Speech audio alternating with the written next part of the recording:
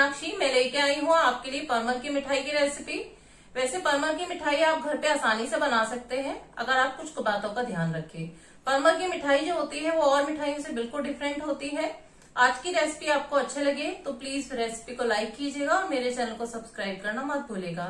तो देखते हैं आज हम परमल की मिठाई को किस तरीके से बनाते हैं। परमल की मिठाई बनाने के लिए हमने ये 500 ग्राम परमल लिया है। सभी परमल को हम छील लेंगे।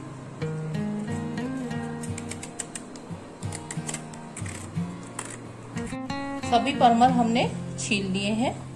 एक एक परमल को आपको इस तरीके से करना है। इसका हल्का सा किनारा काटेंगे और इसे बीच में से इस तरीके से चीरा लगाएँगे और इसके बिल्कुल इसे खाली कर देंगे हाथ, उंगली की हेल्प से। ये देखिए, इसे मैं बिल्कुल खोखला कर लूँगी। ये देखिए, मैंने उंगली की हेल्प से इसे बिल्कुल खाली कर लिया है। सभी परमल ऊपर से उसका इस तरीके से कर लीजिए सभी। ये देखिए। सभी परमल हमने अंदर से बिल्कुल खोखले कर लिए। बिल्कुल इस तरीके से देखिए। अब हम इन्हें बॉईल करेंगे। बॉईल करने के लिए मैंने ये भिगोने में पानी डाल के बॉईल किया हुआ है। सभी परमल इसमें हम डाल देंगे। करीब पाँच मिनट के लिए हम परमल को पानी में उबालेंगे। इतने परमल उबलते हैं, इतने हम चाशनी की तैयारी कर लेते हैं। गैस ऑन करेंगे। ये कढ़ाई ली। इसमें हमने 250 ग्राम चीनी ली है। चाशनी हमें थोड़ा पतली ही रखनी है और एक लीटर हमने इसमें पानी यूज़ किया है। बिल्कुल पतली चाशनी बनाएँगे हम।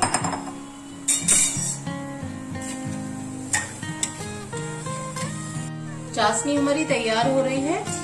इतने अब परमल देख लेते हैं। परमल को पाँच मिनट हो गए हैं, गैस हम ऑफ़ कर देते हैं और सभी परमल हम निकाल लेंगे।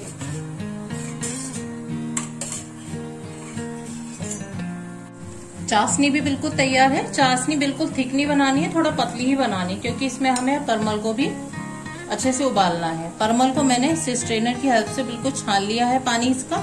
उसके बाद इसमें हम इस चाशनी में धीरे धीरे ऐड कर देंगे।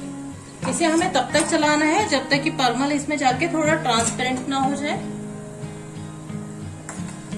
हल्के हल्के हाथों से इसे चलाइए और इसे बिल्कुल अच्छे से ट्रांसपेरेंट होने दीजिए चाशनी के अंदर। ये परमल चाशनी में बॉईल होते हैं। इतने एक पैन लेंगे, जो परमल के अंदर हमें फिलिंग बनानी है।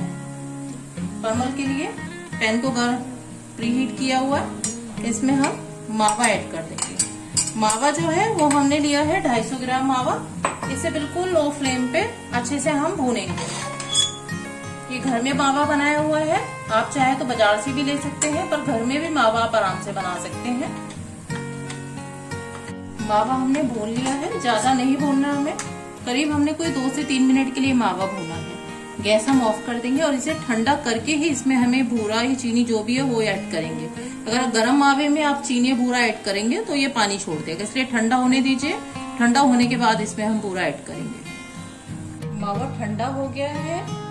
ये 250 ग्राम मावा था। हमने इसमें 100 ग्राम भूरा लिया है। आपको जितना मीठा पसंद हो उसी हिसाब से आप ले सकते हैं। पूरा मैं इस मावे में ऐड कर दूँगी।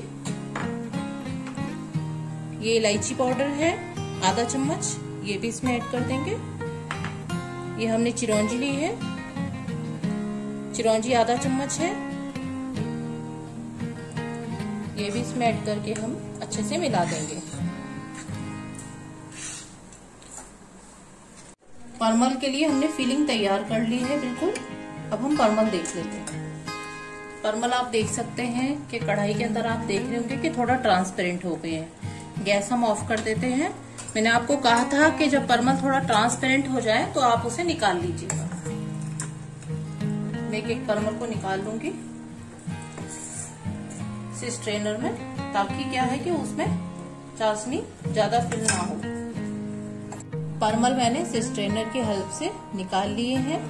इसमें से चाशनी भी छन गई है। इसे हम ठंडा होने देंगे। ठंडा होने के बाद इसमें हम फिलिंग भरेंगे। सभी परमल ठंडे हो गए हैं। मैं एक एक परमा लूँगी बहुत आराम से क्योंकि ये इसके अंदर मावा फिल कर देंगे